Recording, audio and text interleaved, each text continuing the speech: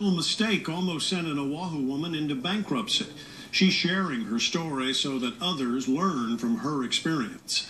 Cipriana Luxon gave her insurance company her checking account information when her car insurance policy was up for renewal.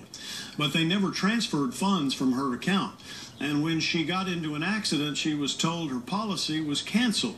Luxon is on a fixed income and has a lot of medical bills, so they thought her only option would be to file for bankruptcy.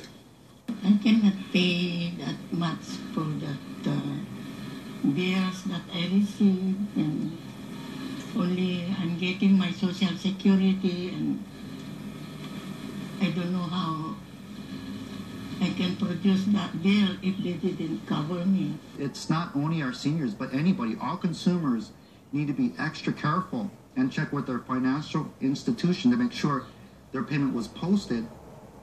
Representative Mizuno also says to check with your insurance company to make sure they receive your payment. Luxon was able to work things out with her insurance company and her bank to resolve the issue. Following up